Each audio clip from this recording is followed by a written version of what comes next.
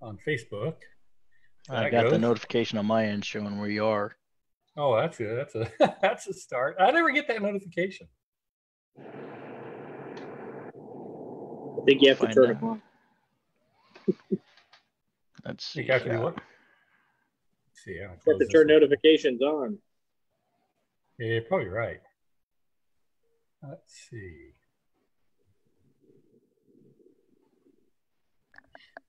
Oh yeah, there we go. All right, I found it. All right. Oh, we turned the volume down on this. There we go. There we go. We get feedback. Hey, how's the audio? Still working? Yeah, working strong and heavy. Okay. Well, we should have a couple others joining us, but you never know. Chris uh, said he would be joining us again, and then uh, maybe the guy from France was going to try. Got young kids that tend to keep him busy, like two-year-old and four-year-old. So he gets what I got. yeah, and he's trying to put them to bed, I guess, about the time we're starting this, or it's their nap time or something. So he said it's pretty difficult for him. And then I think there was one other, but we'll uh, we'll start the discussion. Um, before we get into the rust, I told you guys I'd, I'd share a little update playing around with the Japan dryer, which uh, this stuff here, which is backwards in the image, I guess, huh? Anyways, um, so I, I uh, mixed that in with some Japani, put it on a plane, and uh, see if it would cure on its own without uh, without heat. And it continues to harden. Um, it was here. It is soft enough to easily dent with my fingernail two or three days ago. It's been uh, I think this is about day 13 since I put this on, I recall. But it, you can still dent it, but not very easily now. You have to kind of press pretty hard on it. It's not tacky at all, so it's it's about 90% cured. So which is better than I've ever seen this stuff cure without heat. So I would say the Japan dryer is definitely making a difference. Um, looks like it's going to probably be a three week uh, dry just at room temperature, and it's been out here in the in my carriage house, which has been really in the low 60s. So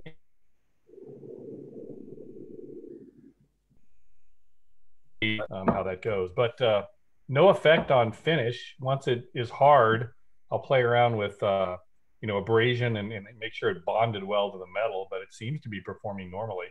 And again, this was a incredibly thick coat. That's that's one coat um, that's at least as thick as three normal coats. I put it on real heavy because I thought, well, it, it- we'll find out if it'll really cure or not. If it'll cure this, then it'll cure.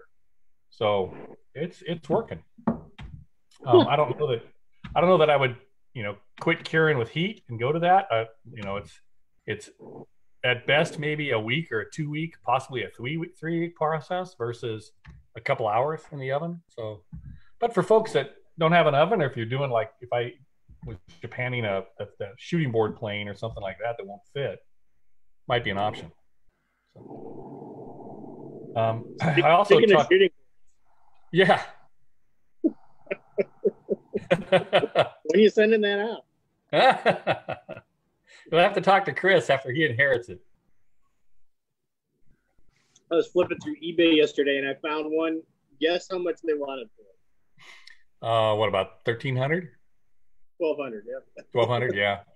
I, I looked at Jim Bode tools, and you know most of his have sold between twelve and fifteen hundred on there that were complete, and uh, so that seems to be kind of the market. Although I'm sure it's softer right now. Nobody has you know cash to spend, but at any rate, didn't buy it to sell it, bought it to use it, Right. and uh, that was kind of the agreement when I bought it from the.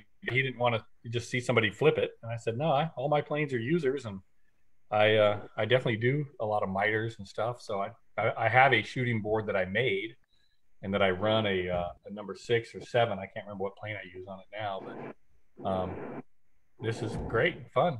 So I couldn't, you know, it was a maybe a good good price on it. So at any rate, um, I also got to play around with this. Ah, Pontypool. Yeah. So uh, a gentleman uh, from Facebook had uh, a can of this that he'd had for a while. He'd never opened.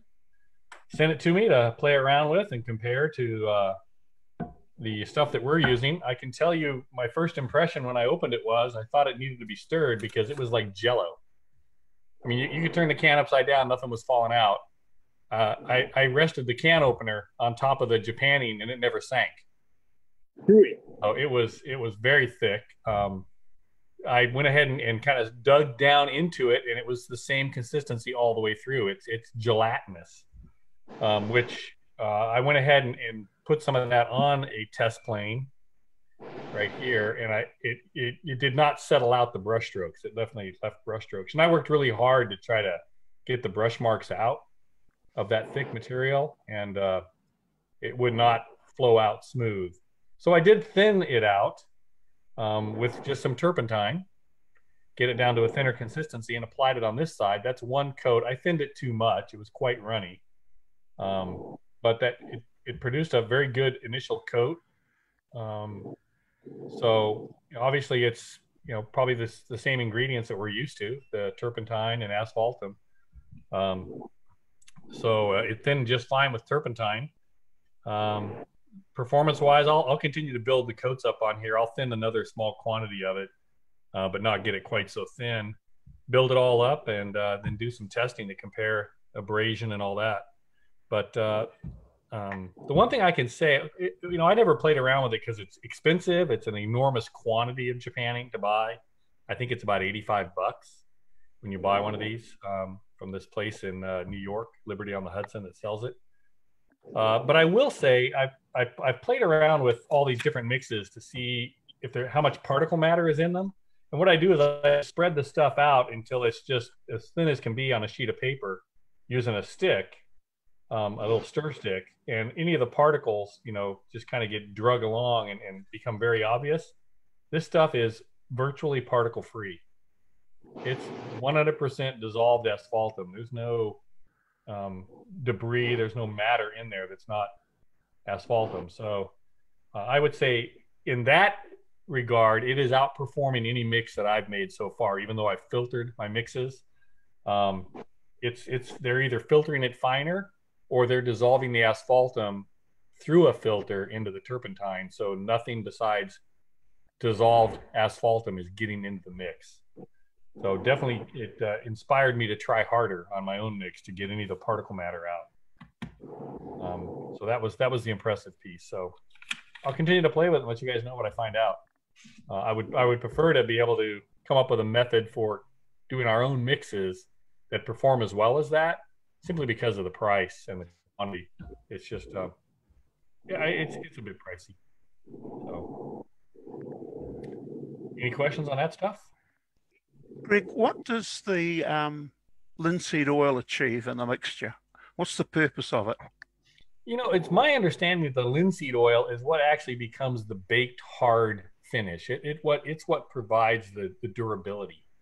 Um, but I'd have to. I read about that somewhere. There's an article there of some somebody wrote. It's almost like a master's thesis uh, on Japanning, going back to the original Japanning art in Japan, the ladder art, and he discusses all aspects of it being used on early aircraft, on automobiles, everything. Um, and has a lot of, of information on mixtures that he somehow acquired that were written down from large industries. So he's got like a mix on how to do it, where it's like you know 500 pounds of asphaltum in three burlap bags, put into a 55 gallon drum of turpentine and blah blah blah. it's huge quantities. Um, but I believe it was in that article he discussed a little bit of the chemistry of it. And uh, uh, if what I recall was the linseed oil is really what be, kind of becomes the finish, and the asphaltum is more the coloring agent. So I guess we could play around that by just uh, putting some linseed oil on a plane and baking it and see what kind of a durability you get. Um, I'm sure there's some interaction between the asphaltum that is better than just linseed oil, but uh, that, that's what I recall. So I'm going to kind of play around with that. In fact, I forgot to bring it out here. I did order a, cu- a couple of uh, other uh, powdered uh, agents, one of which I believe was used in the Japanning on the Ohio planes. If you know, some of the Ohio planes are kind of a dark red maroon. Um, there was a, a, mine in either Virginia or West Virginia that mined a, co- a red coloring agent. Uh, I can't remember what it's called now. Uh, that I think might be the match to that color. So I found a supplier of it and bought some and I'm going to make make a batch of Japanning with that in lieu of the asphaltum. Um, It, I, it, I don't believe that agent will actually dissolve. So it's going to be a suspension of extremely fine particle matter. Uh, so we'll see how that works out. But I'm going to play around with that red agent because I, I, have a, a, old Ohio plane that I'd like to uh, read Japan in the original Ohio red. Uh, so I'll play around with that. We'll learn a little bit about, you know, the interaction of the asphaltum and the linseed oil from that experiment. Then I also got some cobalt blue, which was a coloring agent that they used to use in some of the planes or some of the Japanning. I don't know if they used it in planes. Uh, that's kind of for a special project I'm doing for a guy where uh, he wants a plane that's blue. So I've got a Stanley that I'm going to redo for him in blue. Um, so we'll see what happens with that. Again, that that cat it's cadmium blue. That is not dissolve in any of the solvents that we use. Uh, it only dissolves in nitric acid. So it'll be a suspension. See how that performs. Hello, Raphael. Hello, how are you? We're doing good. We hadn't yet started talking about the rust. Uh, rust. I was just giving an update on uh, some of the playing around with the mixtures Oh, uh, okay. and how that's going. So we'll, we'll get talking about rust here in a minute. So, uh, and I was talking about some of the different coloring agents. So we'll see what happens with that stuff. Uh, next week, uh, I'll probably have a test plane. I've got another sacrificial plane over here that I'm going to clean up, and I'll hopefully be spreading some of that red uh, uh, tinted Japanning on there. We'll see what happens. Now, I know the original red, I think, at least was popular in Japanning was vermilion. Was a coloring agent that was used uh, when they were doing Japan lacquer work on furniture uh, here and in Europe. Uh, but that is a, uh, a mercury product that is incredibly toxic. Yeah. So uh, that's that's not something I was going to mess with. Let me get some feedback. Well, I have example an example of a plane that I uh, restored from a friend that gave it to me. Yeah. It was really it, it, it was the worst one that I ever repaired. Um,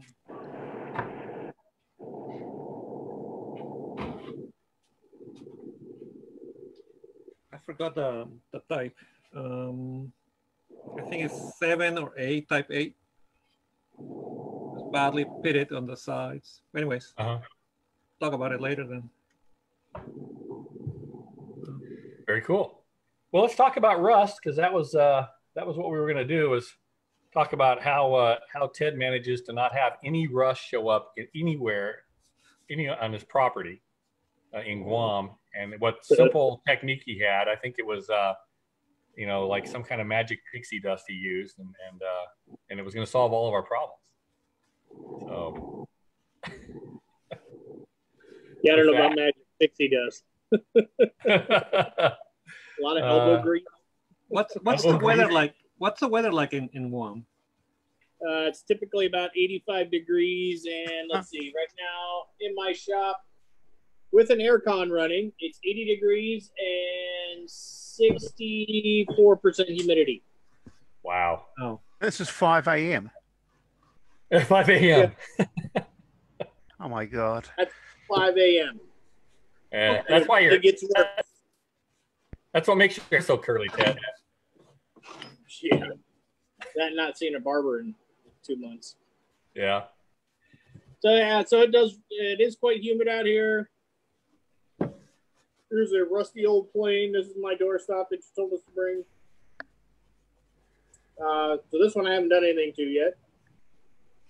Not that showing up. All I see is Greg's table. There you go. There we go.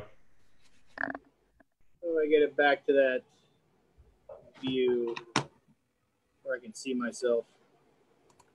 Uh, I don't know. Let's ask our. All right, looks like our tech support guy departed for a moment. well, you, Greg, you you have your I'm you here. What you got? your screen. Maybe you should stop sharing your screen so somebody else can take over. Otherwise, your screen's the one that shows Oh. up. Oh, okay. You're not seeing. You're not seeing uh, Ted. Okay, let me see if I've got how to do that. Uh, let's see. How can I put Ted? There it is. That work? Okay, there we go. There's my rusty doorstop. Okay. Uh, so to help prevent stuff from getting like this, this is actually one that came from uh, Michael Jenks. This is the busted one. Oh yeah.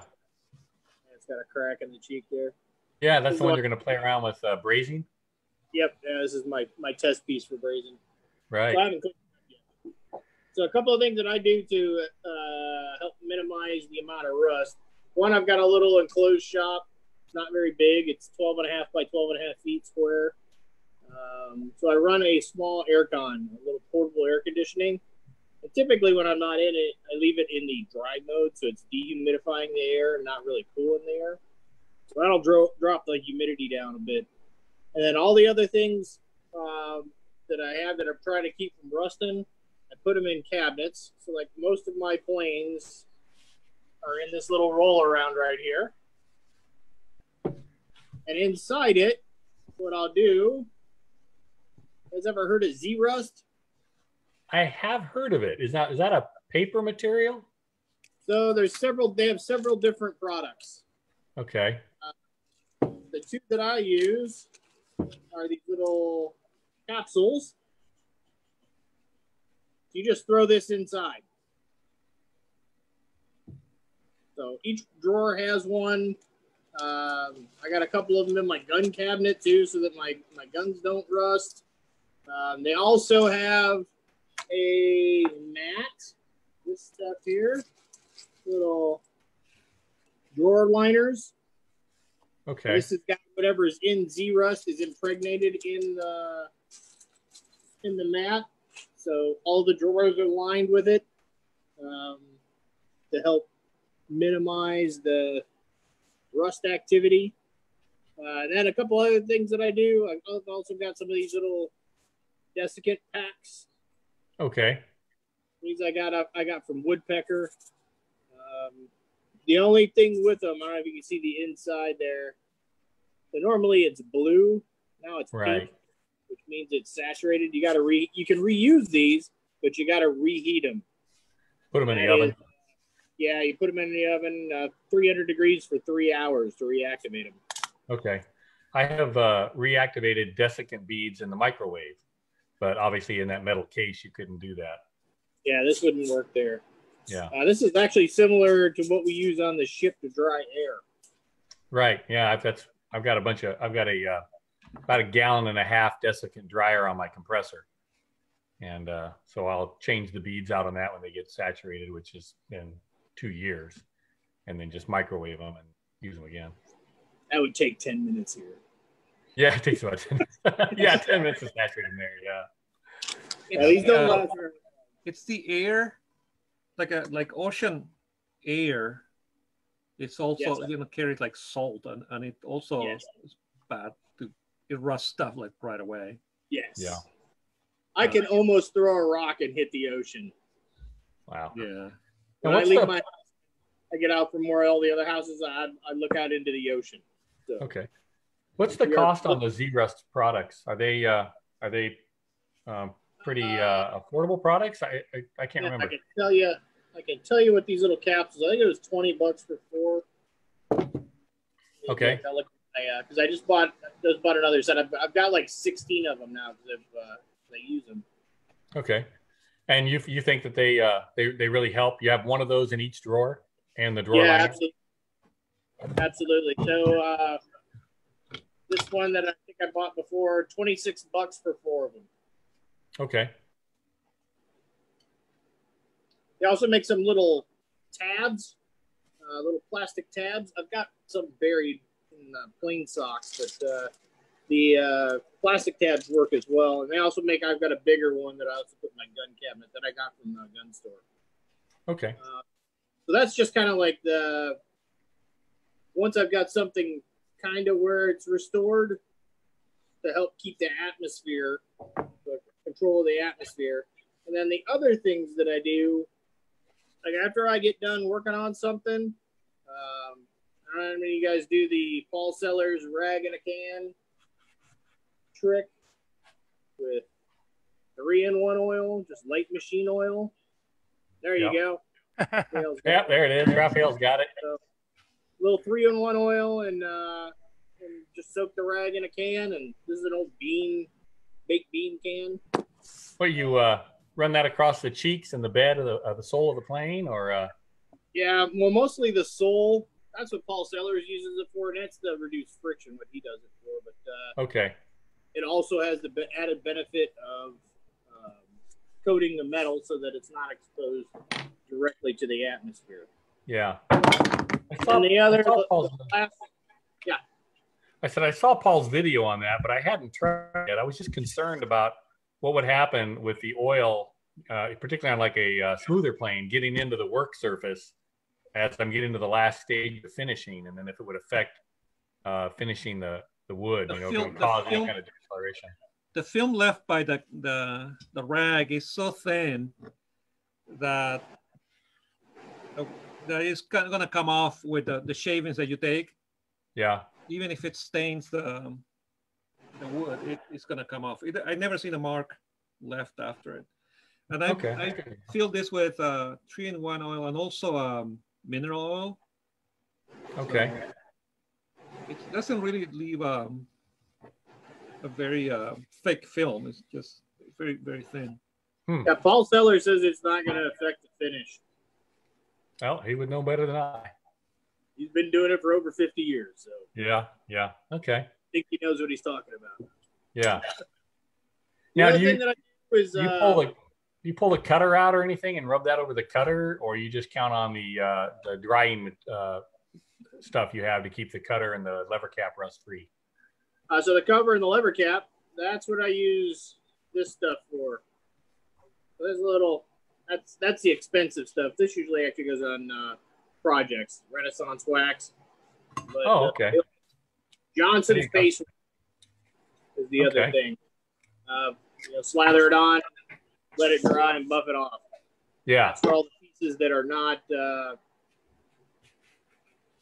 not seeing contact with the wood. You can use that on the sole too. There's nothing wrong with that. Um, it would do the exact same thing. It's just for providing that barrier between the atmosphere and the metal. Okay. your whole goal in life, right? Is to, to separate the two. Um, Yep.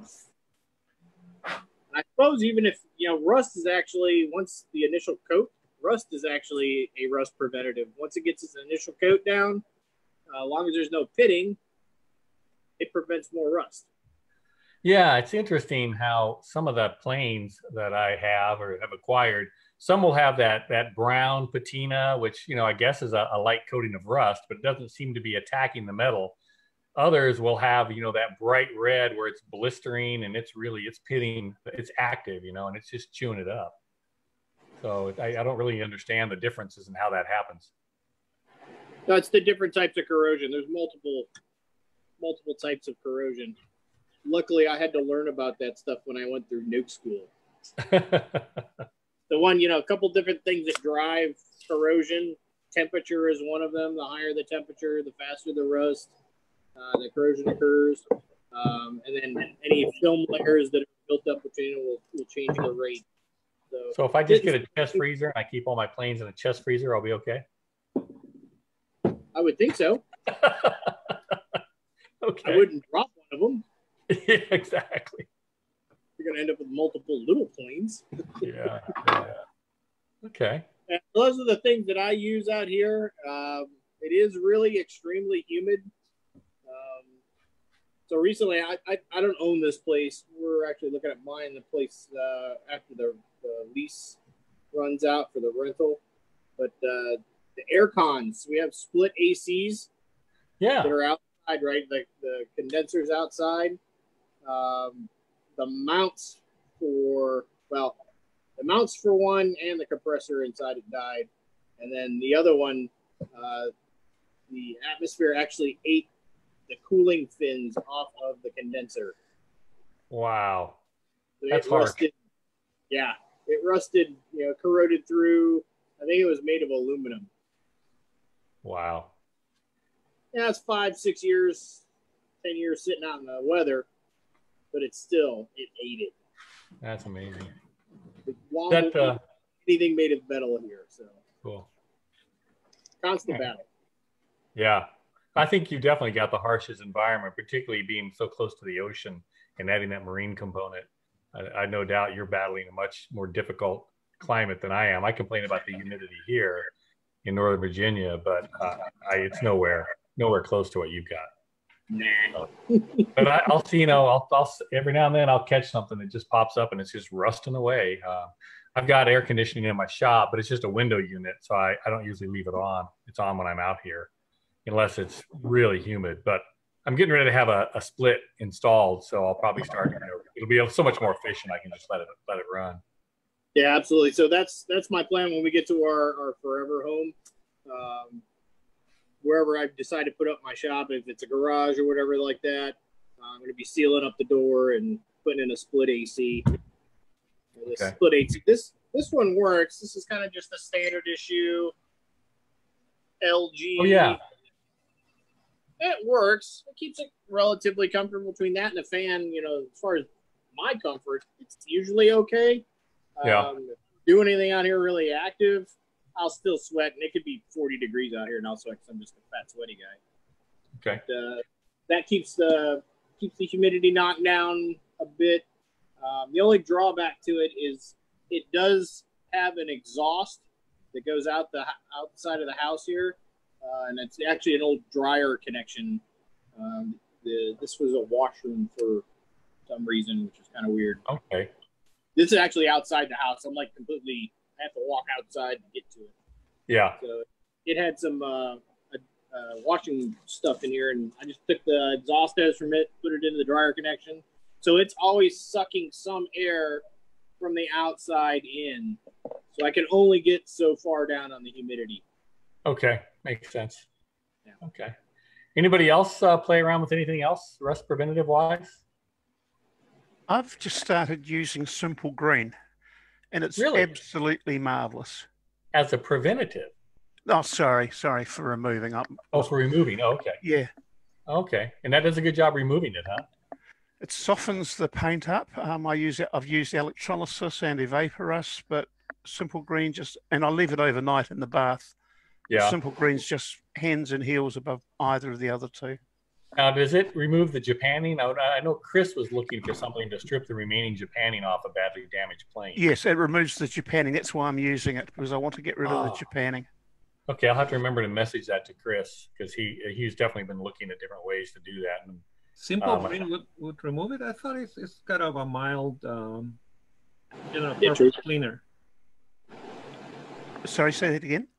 The simple green. I thought it was just a general mild general purpose cleaner. It is, but I've you, you can out here in New Zealand we can buy the Simple Green concentrate in five liter um, Yeah. bottles, and it's just so much cheaper than Evaporust. Wow. You put it on straight, Ron? Sorry, we've crashed over each other. I mean, this is what I what I have. Is this the same product you're talking about? The one that Ted's showing. yes, yes, yes, it's Simple Green. Um, yeah, it looks watery. I mean, it's just the the concentrate. Yeah. Well, I, I've added water to this, but uh, Yeah, I think just, uh, Ted's one's Ted's showing the concentrate, which is the Yeah, one you says- you can dilute down with water. Whereas I think uh, Rafael's one might be already partially diluted. okay, mhm. that's a good tip. Ron, And, you uh, put it on straight. You don't cut it at all. I, I put it straight into the bath, completely straight, no no diluting, and I, I leave it overnight, and then I pull it out, run it under the tap, and it it will either come off either with a pick or with a wire brush, but it, it sort of it really softens it up, and just makes it so the process of stripping it off so much easier. Wow, it's fantastic. it strips off the rust and or, or the Japanning. Or both. Sorry, Rafael. Did, did you say it strips off the Japanning or or rust and Japanning? Sorry, um, I haven't really put a completely rusted plane into it yet.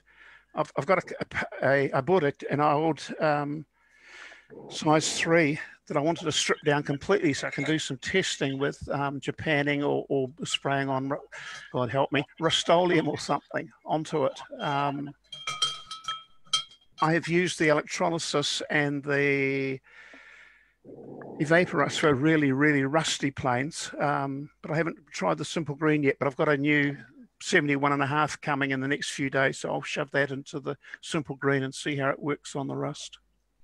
Oh, very good. Look forward to hearing about that. Well, I have this um, a few. Uh, I don't do a lot of um, tool restoration. So I have only one gallon of Vaporust, but I use it to um, derust some blades. This has been here maybe four hours. And it, it did a decent job still. Yeah. Sometimes I, I submerge things for as little as two hours and and then um, use a metal brush to, uh, to clean it. And then I'm done. Did uh, any of you guys get a chance to look at that uh, video that I shared, that where that guy did the testing of different rust preventatives on uh, chunks of cast iron? Yeah, I watched it. Yeah. I thought it was interesting. If I recall, kind of the conclusion in the end was that uh, plain old paste wax seemed to be uh, about as good as anything, uh, and better than some. Yeah, Yeah, So that that, thing, uh, the WD forty rust preventive, I think was next, wasn't it? Yeah, yeah. So I, uh, I, I took to, uh, you know, I keep the paste wax around. I use it on the furniture anyway. So I've started using that on uh, some the planes, and I haven't been disappointed. Um, but I don't think I've really put them in a real challenging environment. It's certainly it's more work than the Paul Sellers, you know, uh, just rub the oil on there. I've I've played around with other products. This is probably my go-to right here. Is a CRC 336. Mhm. Um, pretty popular for uh, woodworking tools. Uh, a lot of guys use it on like their table saws and stuff. Um, so it doesn't leave. Uh, it doesn't affect the finish of the wood. Um, but it, it is a uh, you know it's a it's an oily feel on the on the plane. So uh, it seems to work very well, but it's um, it's a little messy. Uh, you know, you got to spray it on the plane. You get somewhat on the floor, and now you're walking around an ice rink. You know, so I can't say uh, that I'm totally sold by it. Um, I I definitely use it on like corrugated planes when I have one that I'm working on, or one that's badly pitted because it's very watery and it, it get down in those pits right away and peel those up so they don't get any worse. Uh, so I've also used the, uh, Bow Shield E9. Um, works works very well. It's uh, too pricey. Uh, for it, it, it doesn't outperform anything, and it's twice as expensive as everything else. I've been using that on my table saw for quite a while, and uh, I'm just using up what I have left. I would buy it again. It, I could use the paste wax and be better off, and you know, a tenth the price. So That Boeshield is it slip slickery too? Uh, real slippery. Uh, no, it it, it uh, you spray it on uh, and then just wipe it around to get a good coating, and then it dries, um, and it's essentially essentially invisible.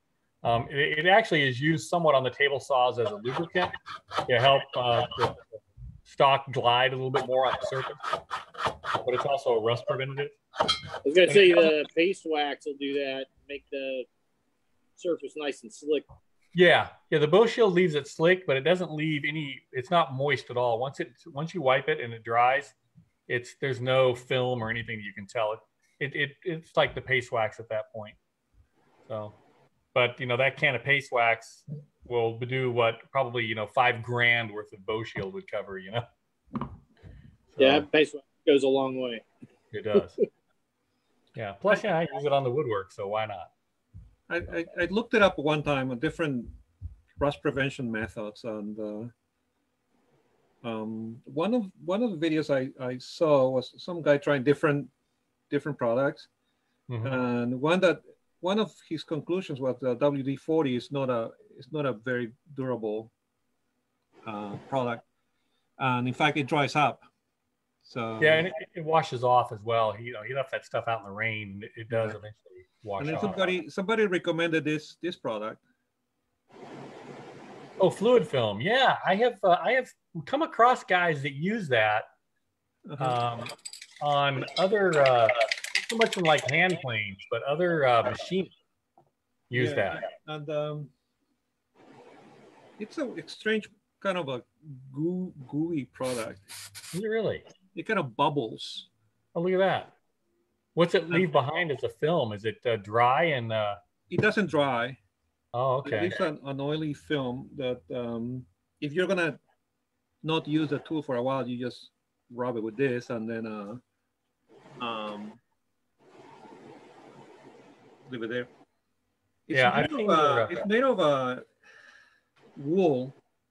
It's lanolin. It's like a Lanolin. organic product. Okay, yeah, it's got an odor to it, doesn't it? Yeah, it's got an odor to it. Yeah. Sort of strong, but um,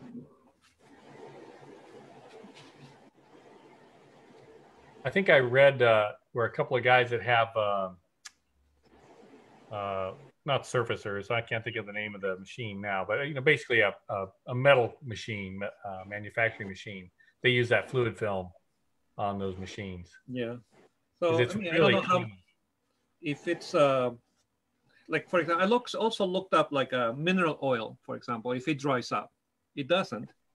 So if you leave it, leave a film of that on a piece of metal, I don't know if that may be a, a rust. It might prevent rust, but I don't know how. Yeah. long. I may play around with that. I've got a gallon of mineral oil. We use it on the uh, soapstone countertops.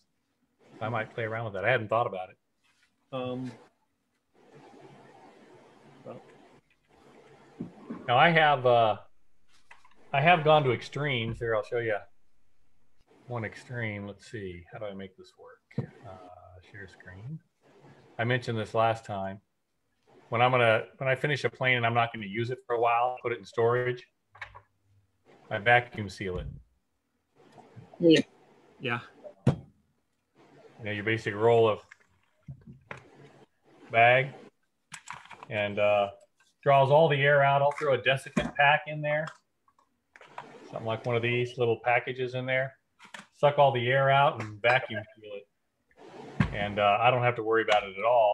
But, uh, you know, if I go to use the plane, I have to cut the bag open and reseal it. So it's, it's definitely, you know, I, I've done it like I have a tongue and grooving plane and a couple of circular planes that, uh, you know, I, if I use them once a year, that would be rather miraculous. And so um, I keep them vacuum sealed.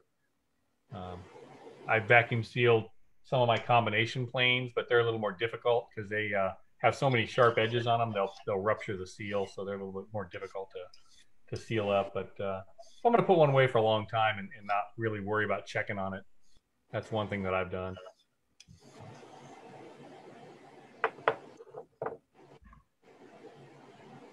We got anything else to add? One of the other, I think it's made of the same, got the same stuff. I do have, um, so you, you're talking about sealing something up for a period. I've got some of these bags too. And I think if you look at it, it's kind of yellow. How do I, how do I switch this? I Oh, can't we see go. myself. There you go. So this thing, I don't know if you can see, it's kind of yellowish. Yeah. So there's there's something in this plastic bag, and it's advertised as a rust preventative. And it may be made by the same company, by Zerust. Okay. Like I've got a four and a half that I'm working on. That's the one I got to do the braze repair on.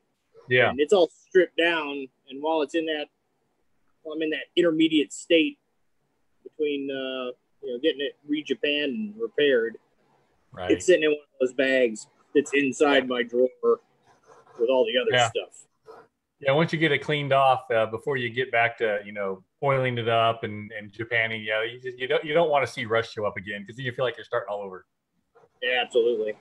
Yeah. As far as rust removal, I, I, I've tried a couple different methods. Um, I'm going to give that simple green a, a whirl too. I got a couple. Uh, I got to build my oven first, but I got a number seven that's in pretty bad shape, or a number eight that's in pretty bad shape. Um, but I did use uh, for the. I just did that Stanley Four Square. That one Yeah. was just enameled. Uh, that I just used regular old. Um, chemical stripper. Oh, okay, because it was it was not Japan, it was enameled. Yeah. Yeah, it was just regular enamel. This stuff worked pretty well. Okay. Uh, even though I, I, I put it on, let it set. It says like 15 minutes, I think. Yeah, after a minute, 15 minutes, that's great. Uh, that didn't do it. So it sat overnight with a pretty thick coat of it on there, and then I came out the next day and it wiped off. Nice. Cleaned it Was right that for down to the- removing?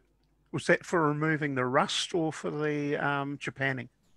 That was well, it wasn't Japan. It was enamel. It was just enamel paint. Oh, okay, Okay. 'Cause it was an old Stanley Foursquare, which was the home edition, kind of the, the lower end geared towards you know dad working on the weekend. Yeah. uh, yeah, I took that stuff off. I haven't tried it out in Japaning yet. we can do that. I got a, a three and a four I got uh, from Robert Porter that are in pretty bad shape. Maybe I'll do one of those that way. Then everything else, a lot of mechanical cleaning for us, right? That's the old wire Mhm. wheel. Yeah. Yep. Marvelous things. Yeah, oh yeah. Yeah. And those little uh, the wire wheel and the like the little cone shaped one, those are cheap. Okay. And those they're- quick. Yeah, since I already had the sandblaster, I never really, you know, you know, got into trying to figure out how to remove the Japanning because that is, you know, about a 30 second to one minute operation. But you know, talking to folks like uh, uh, Sven over in uh, Norway, he doesn't have a blasting cabinet and uh, you know doesn't really have space for it. He's trying to strip Japan off a plane. It's like, wow, I really don't have any good advice for you. So I'll definitely share some of these ideas with him. I think you're spoilt having a sandblaster. It's true, I am. I looked at getting one. I can't find one, and no one will ship it here. I can, Really? but they're hundreds of dollars. Uh, You know, Uh, I'll spend a couple hundred bucks. I'm okay with that. I Isn't just there can't get it. isn't there a product that is just the gun, a canister with a grid, and then it just you just blow it? And you I don't have one of those. It's just I mean it would be portable. It would be for, not for a, a lot of uh, sessions, but uh, if you just doing a few tools, that may be worth it. I have one of those. I picked it up when I was back uh, for what I had to go back home for. Oh, it was for a funeral. So went to Menards and they had one that you just shove into the bucket of media and attach to your uh, air compressor. it makes a gigantic mess. Oh yeah. Oh yeah. I can't. I started to do it in my shop. Oh, no. I had put it in a box, right? I had a little cardboard box I'd cut out, put everything, trying to catch it. Or you Yeah. can think, can you use like a s- um, the sand from the beach? Yeah, that's what I Um, use. I use play sand. Yeah. It's Mhm. not nearly as effective, and you got to be really careful because um, that sand, depending upon your air pressure, when it makes contact, it'll it'll basically explode, and it it, it, it breaks into such fine particles. You're breathing in uh, silicone, and you get uh, the silica. You'll get silicosis in your lungs. It's very very bad. Yeah. So, yeah, uh, wore a respirator. yeah, you definitely want to be wearing a good quality respirator. You know, with my cabinet, my cabinet attaches to a, a just a big shop vac that's got a HEPA filter, and I've got, I've got a cyclone pre-filter on it. So most of you know, not much sand gets sucked out. If I get the air pressure up too high, you'll see the sand just becoming va- basically a vapor. Um, and that'll get sucked out, go through the cyclone, and then get caught in the HEPA filter. But uh, I mine's just a it's a Harbor Freight benchtop sandblasting cabinet that I put on top of a wooden cabinet. I think I think they're about 170 bucks usually, you know, and you can catch them on sale. Unfortunately, I don't think I don't know if there's a Harbor Freight in Guam. Apparently not. Yeah, and uh, you know they're not right off the shelf. They're not that great. Um, they leak sand like crazy, but you know a, a caulking gun full of silicone seal, you can seal them right up, and uh, um, away they go. And I, I I made a few mods over uh, over time with it. Uh, I eventually got it to where it was running efficiently enough that uh, it was uh, it was stripping so fast that it was generating a pretty enormous static charge, and uh, it would it would discharge that through your forearm where, where you're leaning on the glove inserts, and it's, it's like getting hit by a spark plug in your forearm. So I grounded the cabinet to stop that, and it uh, but it works it works well. Uh, my only complaint is that the um, the safety film on the window, you know, it's a replaceable film uh, clouds up pretty fast. If I try to film through it, I can film one plane, um, and by then, you know, I can still see what I'm doing, but you can't get any images out of there. And I've got to you know, put a new uh, layer of film on there, which is about an hour-long job. Um, so I'm looking at modifying that so I can change it faster. Higher quality blast cabinets have better control of how the particles move around inside, where the vacuum outlets are, and things like that. And they they kind of keep the stuff from etching the the uh, window. So, but uh, yeah, I'm pretty spoiled. So, uh, I was going to show you. Here's a uh, here's a vacuum sealed plane. It's it's in a plain sock, you know, just so if that gets banged around, um, or it's in a gun sock, I guess, just to kind of a little bit of protection. And then it's just vacuum sealed. This is this is the number four. It's a, a very nice number four. I like to use, but uh, I don't get it out all that often. So I'm I'm willing to. Uh, that's that. You guys have probably seen pictures of that brass badged Craftsman plane. It's on my website and stuff. That's what that one is. It's just a real beauty. So I take extra good care of it. So, um, Ted, you had asked how I get the plane so shiny. Yeah. Oh, I thought I'd, I'd share with you guys what I do. Uh, lever cap and uh, and chip breaker you put up, you can Yeah. use that to cut your hair in. Yeah, it's you you, you, can. I, I've got a number of planes that. Uh, um, I, I- in fact, I have one that I did. I sold it to a guy, a collector, uh, wanted it, and I, he got it for a bargain. But I, you know, I, I don't think I even paid anything for it. He gave me like forty bucks. I probably had 400 hours of labor in it, but I set it on top of my iPad with pictures of it before when I first got it, all rusted, and I laid it right up on, on the same image, and it just reflected the image in the sole of the plane like a mirror, and you couldn't tell which one was which. So you can certainly polish them up mirror-like. If you want to see really good metal polishing, uh, look on Facebook for axe collectors. Those guys, yeah, they turn these old axes that are rusted and pitted into absolute mirrors. Uh, and there's one guy who's done a little uh, some videos on how he polishes them, although he doesn't give away all his secrets. But he's also a very good photographer, and he'll take these axes out in the forest and get pictures of these axes stuck in a block where the aspen trees are reflecting off of it, and it's like a work of art. But the big advantage they have is they have almost unlimited material to remove.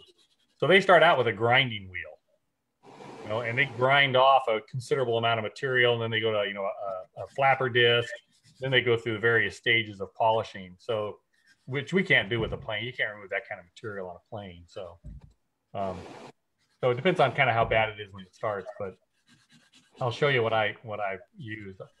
Generally, uh, like on the cutting irons and the lever caps and stuff, I'll start out with a a, a, brass uh, wheel on a uh, bench grinder. Uh, rather than a steel wheel, the brass just uh, seems to work as effective and it's a little easier on the on the fingers. Really, I, none of them really eat the steel. People have talked about that, but I I uh, I played around with that. I took an old plane and I tried to actually, you know, grind a hole in it with a wire wheel, and I finally managed to make a dent in the uh, cheek of it, right on the edge of the cheek. But I, I almost wore the steel wheel trying to do it. Yep. Yeah. Um, but the brass wheel, the nice thing about the brass wheel is if you hit your finger on it, it doesn't hurt nearly as much as a steel wheel. So it's a little, it's a little finer gauge wire, so that's why I use it. But uh, so after I, I hit the brass, the stuff with the brass wheel to strip the rust off the lever cap, the chip breaker, and the iron, really for probably 90% of the people out there at that point, you're going to be super happy with what you got. And you don't really, you're not going to go any further. It looks really good. Um, but if you really want to get stupid about it and just spend all your retired time polishing metal, um, this is what I do here. I've got a uh, PowerTec, about a 3,500 RPM polishing uh, heavy duty bench buffer. It's actually designed for, you know, running buffing wheels, and but you can put wire wheels on it. It works great. You've got full access, absolutely no safety, so you can get yourself in all kinds of trouble. Um, but uh, use various uh, linen and treated linen wheels with various polishing compounds. Uh, as I started looking into this, I found out that most of the polishing compounds are silica based. And so a lot of these machines sit inside like glass cabinets and you wear respirators and you have HEPA filters and all that because it can be dangerous. But there's a line of uh, polishing compounds out there called Luxi, L U X I. And I got their, see there. And they're, uh, they're water-based silica-free polishing compounds, and they work fantastic. I mean, I've been absolutely thrilled with them. Uh, you don't have to worry about uh, you know any dangerous uh, emissions from it. Um, it's polishing is kind of messy. The wheels throw off little bits of this like wax material. I actually put this this uh, polishing um, buffer in a large card cardboard box that I have. Just you know sits up on edge, so it's kind of like being in a blast cabinet, but it's open on the front and just all the the debris, uh, pieces of the wheel, the lint, everything just collects in the box, and I vacuum it out when I'm done. other than having it throw it all over the shop and all over the shop floor. But uh, so I use that along with these Luxi polishing compounds. Uh, these kind of run from most aggressive to least aggressive. A lot of them are designed for polishing gold and silver and platinum, but others, uh, you know, work on other types of metal like stainless and aluminum. Uh, the, the most coarse is the, the Asian blue. I, I have it. I don't use it very often. Typically after the brass wheel, I can start with this black compound and uh, takes about uh, say a say a lever cap polishing the front and sides of a lever cap probably take uh, 10 minutes with the black compound to uh, to get a pretty nice look a pretty pretty almost mirror surface on it. Um, and then I'll jump right down to the uh, red or the rouge compound down here and typically finish with that. And that will leave you with a basically a mirror finish um, upon what kind of surface imperfections you started with. And if you started with a good piece of metal, you'll have a mirror when you're done. Um, you can go higher than that. Uh, some of these other compounds really are for softer metals like gold and silver and wouldn't work very well. Um, but I, those bars are pretty good size. Here, I'll show you one. Uh, they're not terribly expensive. I think a bar of this is about seven dollars, and uh, God lasts for I don't know 50, 50 hand planes maybe with one bar. So uh, I've got, I've probably done 20 or 30 hand planes, and there's my bar of red still left, uh, probably more than half. So here's the black. So typically I'm just using the black and the red polish. Uh, I get those, I, I, don't know who all sells Luxi, but uh, Rio Grande Jewelers here in the States sells it. I'm sure there's other dealers out there that sell that stuff. Are you putting uh, that on pretty thick onto the wheel? Uh, not really. Uh, you know, you, you, when the wheel's running, you just touch it with that, and you you'll immediately see the color change. And as soon as you've got it on the wheel, you start buffing. If you get too much on your wheel, then you pretty much you kind of end up with like a like a, a, a waxy material yeah. on the blade, and you're kind of chasing it around and eventually wiping it off of the rag. So uh, you, you just touch it to the wheel for just a, a second, and it the wheel picks it up, and then you buff.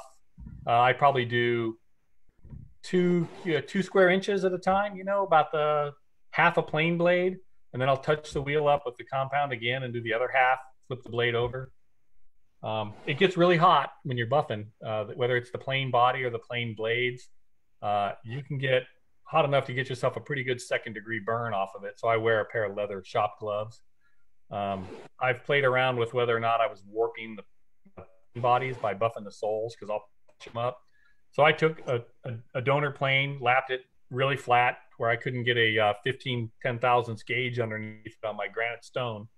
And then I uh, put it on the buffing wheel and just abused the living daylights out of it in like one spot. Just tried to create the biggest heat differential I could. And I had it to where I was getting smoke off the buffing wheel.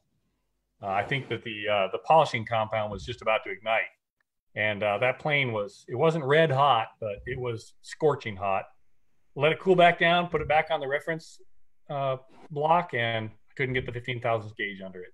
So you're only getting up to maybe 220, 225 degrees, but in direct contact, that'll give you a second degree burn, and that's not enough heat to uh, to really affect it. So I've I'm I'm not worried about it.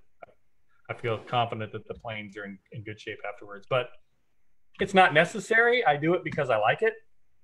Um, I do feel like they they rust maybe a little more slowly when there's no pits and places for the moisture to collect, but it's not enough to like keep you from having to use some kind of rust preventative anyway. So um, it's just the way I like to finish planes. So that's what I do.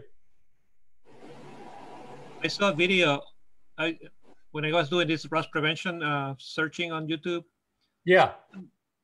Someone reported that uh, he polished his um, I think he was it was his uh, table saw or uh, bandsaw, but he really polished the surface of it, and he claimed that that polished surface uh, would not rust as fast as a rough surface. Yeah, I, I, think it's true. I don't think it'll rust as fast, but it'll still rust. Mm-hmm. You know, particularly if you get moisture on it. You know. Yeah. Um, but yeah, I think it won't rust quite as fast. I had kind of hoped that maybe that would be almost a solution to rust that if I cut it really clean, you know, that it would be fine. But uh, I, I have had one pick up a spot of rust that was polished up really nice. So the nice thing was I just took it back over and touched it to the buffing wheel with the red compound on it, and it was a mirror again in about 20 Did you seconds. use the green the green compound? Uh, the green compound is uh, low temp, so it's not for use with a, a high speed wheel. Yeah. Uh, that's for hand polishing. I do use green compound when I lap um, the I hone a blade, cutting edge, yeah. Yeah. But I don't use it on the wheel. It's uh, Okay. not Is it- for Yeah. But I don't know what the, the composition of this is. It's uh, made in China, but um, it was the green stuff. But uh, Yeah, I saw you using the the the black and the the white. yeah. The black and the red mostly is what I use. Are they more? Are, are they fine or kind of medium abrasive? The black is is uh, listed as being uh, high aggression, whereas the blue is very high aggression. There are compounds that are even more aggressive than that, but they're silica based. Yeah. Um, there's one compound that I played with one time. It was silica based, so I had to get the respirator out. It off the buffing wheel, it would actually throw sparks. Yeah. So you know, it was very aggressive. Um, it, it, it wasn't useful. One was- one thing that I noticed when I was using some kind of a low quality uh, buffing wheel is that uh, it um, gives off um, fuzz, Yeah, and it can be really really messy and and it like impregnate everything around you. So yeah. Particularly when they're brand new, they'll do that as well. I've also got a uh, a, a buffing wheel cleaner, like a really coarse rake. That I use, You I use the saw. Yeah, saw blade. And that, of course, that'll fuzz it up a little bit. And so that's why I put it in a cardboard box when I'm working. I've just got a, a box that sits on the bench. The buffing wheel sits in there. And so the fuzz and all that stuff just kind of gets thrown up against the back of the box and just stays Yeah, in yeah. there. Yeah. So, yep. So if you want, if you want to, uh, you know, get stupid about polishing metal, I just, I like, I like polishing metal. Can I say? Well, some somebody um, I bought this chisel not long ago, and when it came out of the package, that back surface was like a mirror Yeah. finish. But Yep. I mean, it looked it looked really nice. But I, what I realized is when I'm sharpening it and then I you know remove the burr in the back, Yeah. buff it, and I'm not gonna get that shine unless I'm going through like uh, all kinds of different compounds to uh, to get it back again. Yeah. not, not something that can be maintained on a day to day. Yeah. Yeah, the soles of my planes that I that I buff to the mirror finish, uh, you know, after I'm using them on uh, really anything harder than pine, um, you will see evidence of use on it afterwards. But um, if I want to shine it back up again, all I have to do is go back to the wheel with the red compound, and in about two minutes, it, it polishes it back up again. So it's just you know, to each his own.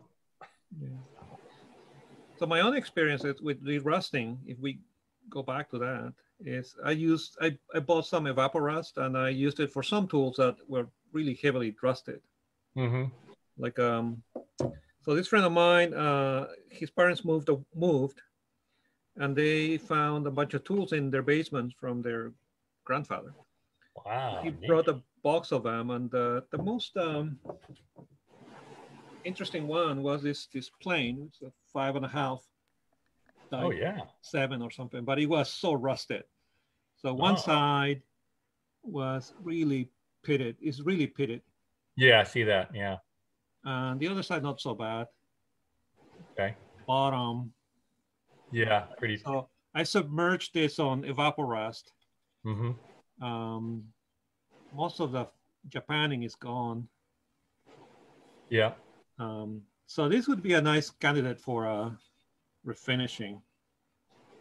If Yeah. I if I go um, that road, it's really nice. It has, still has uh, rosewood handles, um, but that was the worst I've had. But it works. And then I there was this old um, auger bit. Mm-hmm. It's very heavily pitted, and the Evapo-Rust took care of all of it. You know, Yeah. I think I, I ran it through the buffing, um, not the buffing wheel, the the wire wheel too. But um, most of the rust is gone, and it still works. I sharpened it, and uh, Really? Yeah, I was going to ask. I didn't think it would be worth wor- be uh, be useless or useful anymore after that. But yeah, no, it still cuts. You can see Wow. that there's a little bit of the spur left, yeah, and it's a it's not a it's a different pattern than uh, like the, you know the Jennings. Pattern. Yeah. it's, it's like Yeah. Oops. Yep. So it came from that box, some that box, so it still works. So someday I'll use it to drill holes on timber somewhere. On your on your hand tool workbench where your your bench dog holes are going to be, bore them out with that, right? Yeah. Um, I don't know what the diameter of this thing is. Yeah. I think it's about an inch, Three quarters. three quarters. Okay, Perfect. Yeah. there you go. That's definitely dog hole size. I don't know. I don't have a good workbench. I've got the, yeah, I've got plans to build one, but I don't have the space for a normal workbench. So I'm actually gonna build a, uh, you know, heavy laminated uh, hand tool workbench, but it's going to be a drop down on the back of my saw stop. I figure my, my saw stop's got three uh, cast extensions on it, plus a cast uh, router extension table on it. So it weighs about 900 pounds. So when I drop the casters out from under it with the foot pedal, it's pretty well anchored to the ground. So if I attach my uh, hand tool bench to that, it's not going to move. Want to see my hand tool bench? Yeah. It's right here. Let's see. What am I looking at? Looks like a looks like an old crate. It's a pile of lumber. Yeah. A pile of lumber. Yeah. Yeah, you'll see. Uh, you'll, if you see any of the pictures I ever post of me working on something, you'll see it clamped to the end of my table saw, which is not optimal height, nor is uh, uh, slipping and putting the hand uh, the hand plane blade into the table of the saw a good plan. So If you want a good workbench, have you looked at um, the Aussie Dave Stanton's bench? no, haven't. No, Absolutely brilliant. Is it? Is it? Uh, T A N T O N, and it, you can put it on like a kitchen table. oh wow, I gotta look this up. Right But he created this. I don't know. It's probably, is it, you know, it's like a sheet of um, four foot MDF. I mean, God, Dave will kill me for saying that. But it's got holes drilled through it for bench dogs and clamps and whatever. And it's got a, flat, a piece that sits in front as well. And you could use it just for everything, everything and anything. An amazing tool. Wow. Can you can you write down in the chat? Yeah, I'll get uh, I'll get Chris to look that up. Dave Stanton. Stanton, S T A N T O N. I'm just trying to find the. I've got his. He, he does a live chat in another four hours, five hours my time, which is probably you guys will be in bed. Um, I'll be up. Yeah, that'll be- brilliant. It's brilliant. I mean, I- I've been watching him for the last year or so. It's absolutely fantastic. Yeah. I'll try and find a. Uh, I'm just going to paste a link in the um, comments group in the Yeah. comments tab. If I click on everyone and CV. This is this guy's in Yeah. Australia. he's an Australian. Yeah, he's just in um, Sydney or just out of Sydney, I think. Okay, I think I found the video. Yeah. Cool. Cool. He's got dozens and dozens of videos online. It's brilliant, absolutely brilliant. If you want to, uh, if you want to be really inspired in building a workbench, you can look up a guy who lives in in the Dallas, Texas area named Mike Strazza, S T R A Z Z A, ST S T R A Z Z A, Mike VDA. Strazza. Right. And uh, he is um, just an artist in wood. But he builds. Uh, he built a workbench for himself, and then like you know somebody saw it and bought it off him. So he built another one, and somebody bought that, and finally people started coming to him and go, "Hey, would you build a workbench for me?" And he still does woodworking as well, but he seems to be getting caught up in building these workbenches all the time, and he builds them for like professional um, violin makers, instrument makers, and stuff, and they are they're just absolute works of art. The the joinery and the inlay he does in them. I mean, they're not they're they're, they're used as a workbench. They're a big, heavy, you know, laminated top workbench and all. But oh my gosh, I can't even imagine. Uh, These things have got to be like twenty thousand dollar benches. Wow. But they're they're it'll inspire you. I'll tell you, it's they're just beautiful, just beautiful. You guys. So who who amongst you uh, have built their uh, his uh, workbench already, or is planning to? I, I built one and I used an old door as the top. Yeah. And I put four by four posts on the legs with casters. And then Yeah. I used 18 mil ply for the bottom tray. And then I've got another hunk of MDF, which was a, an MDF door. And it was about um, two inches thick. And I put that on Oh. top of the tabletop. And it's a massive thing. It's in my garage, but I can wheel it around and move it. So uh, when I clean the garage out, my wife will be able to put the car back in there. But we've got a two car garage, but it's just absolutely full of my tools and bits and pieces at the moment. Oh, This is, a, nice. di- this is a disease, this woodworking. Yes. And restoring planes is even worse. I mean, Yeah. Fantastic, a fantastic one, but yeah. Well, you can always start uh, start collecting old saws too. oh god, We found, I found this uh, work, uh, there's two workbenches on this um, basement. I found them when I bought the house. They left them here. They have particle board top and just two by fours for the legs and aprons. But I want to build a heavy one. Yeah. Yeah, something that won't move. Here you go. You guys can always can always start on that hobby right there. Oh yeah, I did. I have done some of that. Yeah. The sawtill. Yeah. I'm I've I actually uh working on a sawtill now behind me. I don't know if you can see it. Well, it's kind of covered up, but over there you can see that um, reddish door with glass in it. Yeah. There's two of those. Those are the doors to the sawtill. Those are uh, those came out of the butler pantry on the house back in the 50s when the, the owners at the time remodeled, I think. So they're 130 years old. I modified those to be the appropriate height and Yeah. made uh, raised panels with my hand planes to Yeah. fill in the bottom. And then right next to it, you see some uh, pretty knotted pine or fir. Those are uh, those came out of uh, main structural beams on a 125 year old home behind us that was remodeled. They uh, pulled the second floor out of it and put in uh, modern beams, and they pulled all the old wood beams out. And they, I asked the guy for them, and his workers brought them all over and put them in my backyard. So I've been uh, resawing those and and uh, building the uh, panels to make the sides of the uh, sawtill. So when I'm all done, I'll have a 130 year old sawtill. This is mine. Let me see if I can show you. Oh, yeah, it's plain till, and oh, that's a big sawtill. Oh yeah, it's pretty good size. and it's full already. So these guys are worked on a little bit. These are all um, they're all rusted. They need to be worked on. Yeah.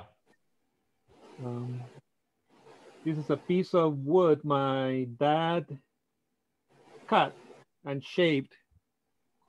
You see, I don't know.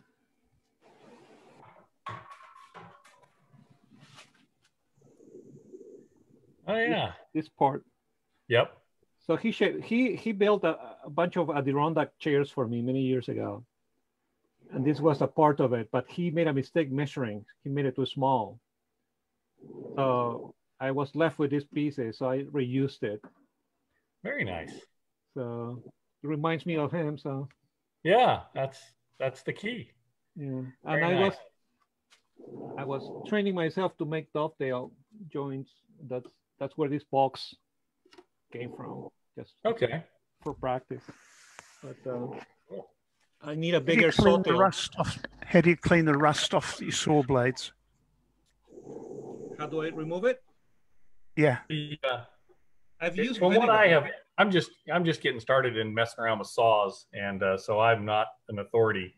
But from what I've, I've I'm on one of the uh, saw antique saw collectors sites on Facebook, and the general consensus seems to be to use a new razor blade, a single edge razor blade, and just scrape the rust off with that, and then follow that up with um, a, uh, like a, a, a semi abrasive uh, like dish scrubbing type pad uh, or, or 400 grit sandpaper.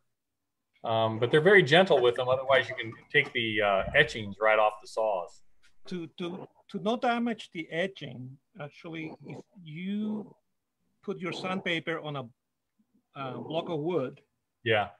so that um, that flatness uh, just abrades uh, the surface of the metal uniformly, so it leaves the the um, whatever's left of the etching in place.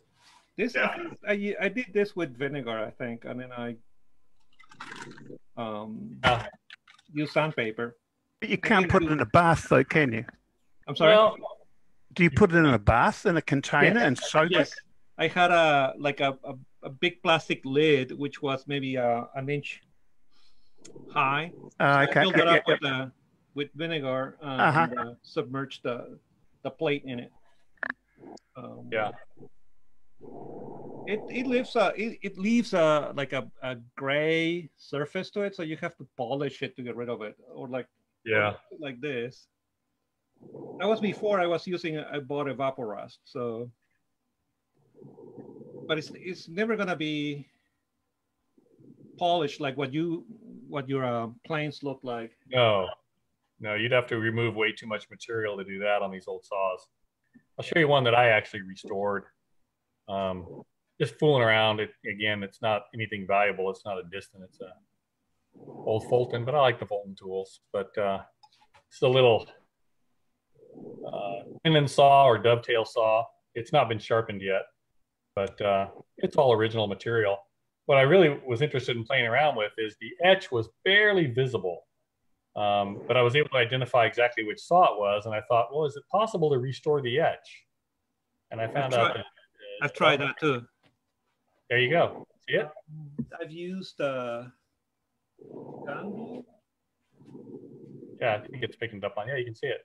So Yeah. it's it's only visible from the right angle. When you look straight at it, you don't see it. But when it's at a slight angle, you see the full edge. I can't see. The saw, I was able to pull the image out of the original catalogs and uh, and do that.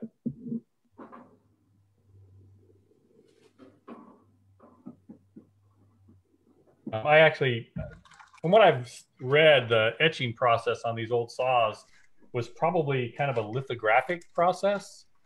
Um, they were they were acid etched, but the image was uh, put on there with a projection type device. From what I've seen, Yeah. uh, I actually re-etched that with the sandblaster. I created a mask of the original etch, and then uh, sandblasted it back into the metal.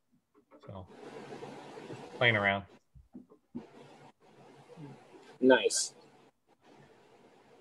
I've tried to use Yeah. this product. Oh yeah, yeah, um, bluing. but it mo- kind of a stain creates like a stain.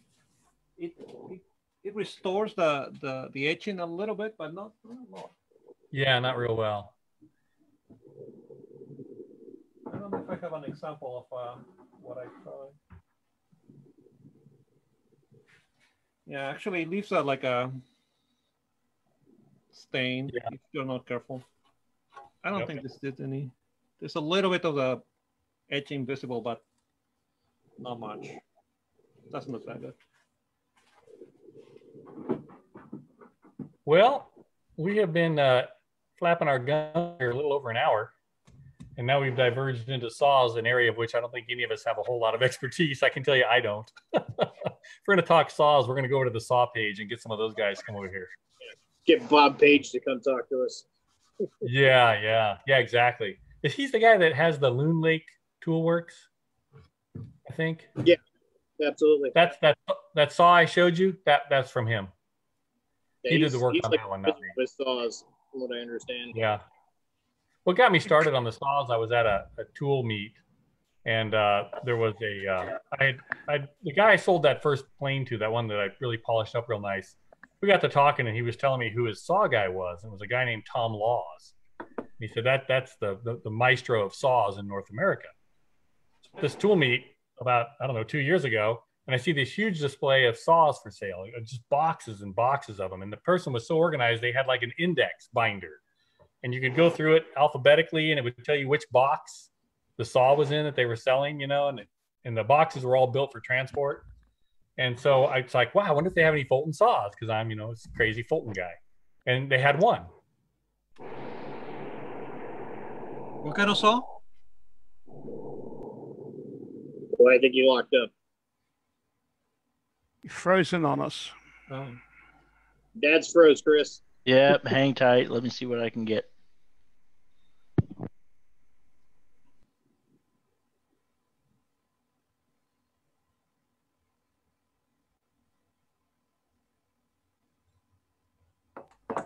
The, the remaining saws that he had done. Had done.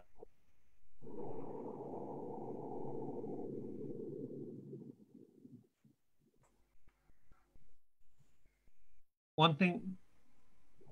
One Oh. thing that I'd like to get to is a ball saw or frame saw. Okay, looks like we're coming back. Sorry, guys, I lost my connection there. Oh yeah, You can build those. Yeah, there's a company that sells you a kit so you can make a, a frame saw uh, for resawing.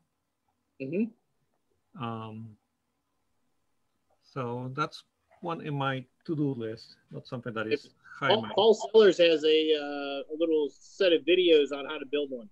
Oh yeah, the small ones. Yeah. Yep. Uh, what are they called? Like um, that's a. Is that a frame saw or a? Yeah, I think that you that's a, twist. You twist. yeah, uh, you got a little string in the middle. You tighten up to Yeah. tension the blade. Yeah, this one that they sell is about four feet long, and the blade goes in the middle, and it has two uh, arms, and there's an tension there, and that's the one used for uh, resawing. Hmm. Sounds like a lot of work. Um, well, you can. That's what they used to use to make um, veneer back in the day. Yeah, and then they came up with with a bandsaw. Yeah, the band. well, I don't, I don't, I have only a tiny band, bandsaw, but uh, for um, resawing lumber, I mean, yeah, it may be a workout, but You're gonna have some buffed out arms when you're done. um, the other thing that is interesting to to get into is uh, like the, those little uh, tiny um, dovetail saws. Hmm. Um, Or jet saws. I'm sorry, which ones? The jet saws. Jet saws? G E N T S. Gent saws. Oh, the gent saws. Yeah, I have a couple of those. Like this. Yep, those little guys. Yeah, I'm not very good at it yet. It kind of like when I try to start, I get like a it binds. So I think it has to do with the angle that that you start the cut. This is a cheap one from Amazon. There's a couple of videos I know Paul Sellers talks about. You know, getting your thumb on there and actually just before it ever touches the wood, getting it moving. hmm Uh, there's another guy, Matt Estlea. He's Oh, a yeah. young kid from uh, England, but uh, he's got lots of little handy tricks and tips that he learned in his process of becoming a carpenter. I found this in a salvage store for like five dollars. oh, This was my uh, experimental saw. The the blade was coming off of the the back. uh, Uh, this was in really bad shape, so I really like sanded it and cleaned it. You guys watch Rob Cosman at all? Yeah, yeah. He has quite interesting articles on saws and whatever. Yeah, His saws that he makes are pricey too. Yeah, yeah, very much. Yeah, Have you looked at? Uh, I don't know what you guys think, but I I think he's he will try to teach you something, but with the aim to sell you something. You know? Oh yeah, he's a businessman. Yeah. yeah, I mean, he saw with a plastic handle is like two hundred and fifty dollars. So Yeah. Yeah. Have you guys seen uh, Flo, Flow Rip? Eric Florip saws? yes, F L O R I P. yes, Yeah, they're nice. Really He's a, uh, yeah, former uh, U.S. military member. I think. I, I think Yeah. he might have been, you know, injured or something. And anyways, he uh, started playing around woodworking and decided he liked making the tools better and started making saws. And boy, they're beautiful and they're yeah, they're very they're nice. reasonably priced. Well, there's another one um, in England, Skelton. Um, Skelton is the name of the maker. Hmm. Not familiar. Um, they're like 500 pounds per saw. Wow. Um, Six hundred dollars. 600, 600 Yeah. no, 600 pounds or something to that effect.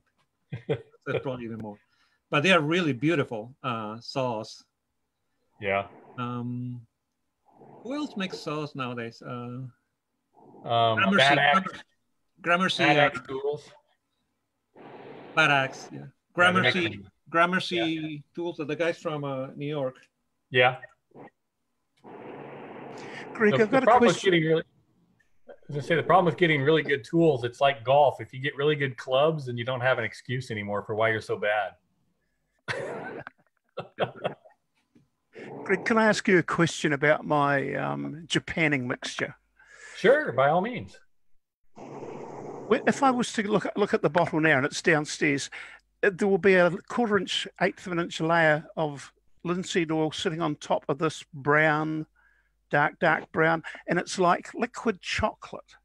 It is very, very thick. I kept adding asphaltum, asphaltum, asphaltum. Now it's probably gone over the top. Do I thin it, add more terps to thin it down?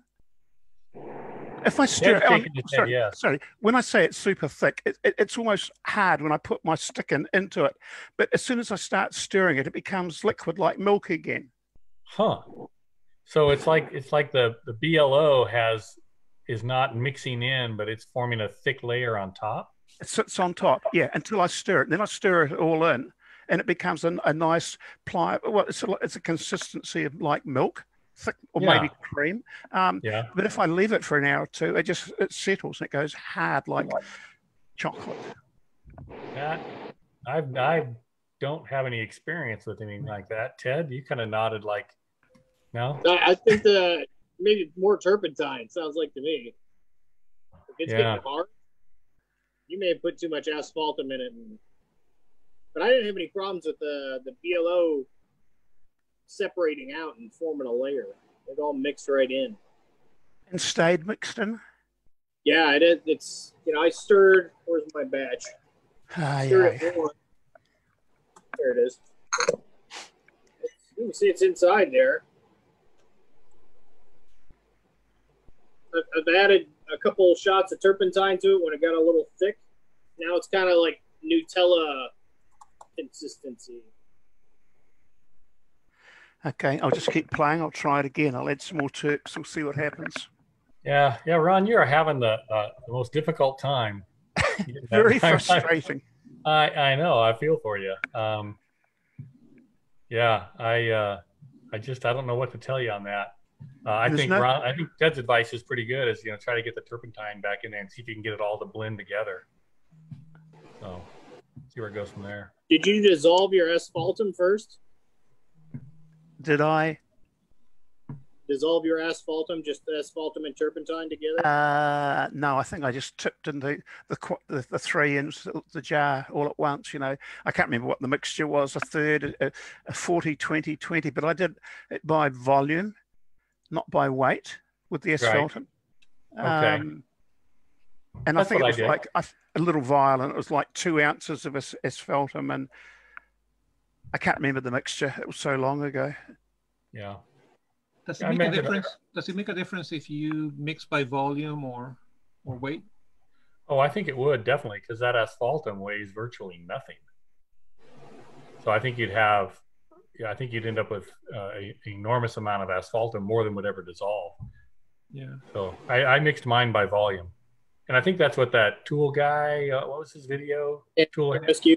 hand tool rescue. Yeah, he did all of his by volume. Okay.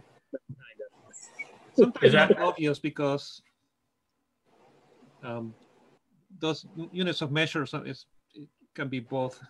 Yeah, no, that's a great question, Raphael. I'd never really thought about that before, and so uh, you've convinced me. I'm going to go back to some of the articles I've written. I want to amend them to include in there that the volume, the, the measures are by volume.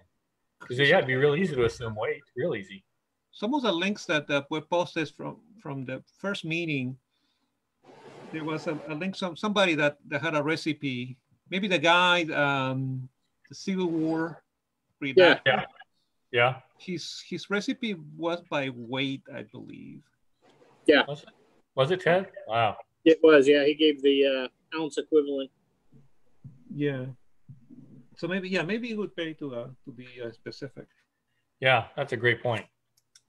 I watched another dude. Um, he's some German guy, and you know he complains that his English is bad, but it's a hell of a lot better than my German. Um, and he had a book, had a couple books that he dug up from way back in the day from these German manufacturers that were Japanning stuff, and he was translating the recipes. And of course, you know it's all, you know, 500 pounds of of asphaltum in you know 45 gallons of of uh, linseed oil or whatever.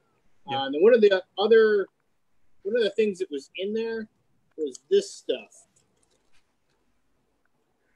Queen bee. Damar resin. Yeah, I have seen that. What is it? So I'm gonna try this. So you, I'm gonna crush it up. It looks like looks like rock candy. What It looks like to me. But you, you do you know what it is? It's uh, some resin that came out of uh, the ones I saw came out of Malaysia. It's out of a make- tr- it looks like gum out of a tree. Tree resin? Yeah. Damar resin. Damar. Like- Okay. Um, it from they uh collect uh tree resins to make a like a uh um aromatic uh you know like uh incense. Uh, what is it called? Um, it's not amber. It's uh something. It's copal. So yeah, this is a tree resin. Yeah. I'm gonna smash some of it up, mix it with some turpentine, see what happens. What, you're going to use mum's blender to chop it up. No, we won't do that. I actually uh, ordered this little tiny mortar and pestle for this. Oh, okay. I was thinking the uh, the coffee grinder would do a nice job on it. Yeah, we're not. He's, did he say what the purpose of that resin is for? Uh, he just had the recipes from these old companies that used to make this stuff. Um, Okay. I can see it maybe making it maybe a little binder that holds everything together. Interesting. Yeah. So we'll of see. the uh, Throw some in there and bake it up and see what happens. Hopefully, it doesn't catch on fire. So this guy's online. Yeah, he was like, I, I, I can look it up and maybe throw it on the the Facebook page. Uh, I can't remember his name. Let's see if I can find him.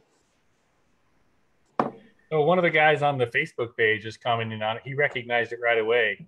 Uh, Adamo. He said the Damar has been traditionally used by painters and luthiers as a varnish type finish. Okay, so it's probably gonna shine it up more. Perhaps. Yeah. Hmm. Interesting. Well, I look forward to your experiment with that. Yeah, we'll give that a whirl. Sounds good. Find this guy.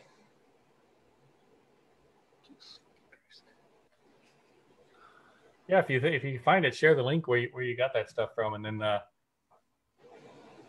Greg, in, in, your, in your research, you ha- have you you haven't come across any documentation on on what they what techniques they use for Japanning back in the day?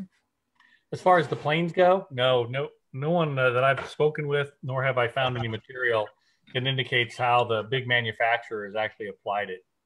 But the, the, the consensus from some of these guys out there that have been around hand planes for a long time, like uh, Don Wilwol, and even I even talked to Rob Porter, the union guy, about it, is that they they probably immersed them, they dipped them into the Japanning, just because you know you got you- companies were making thousands and thousands of planes, and so it was all about you know you know efficiency.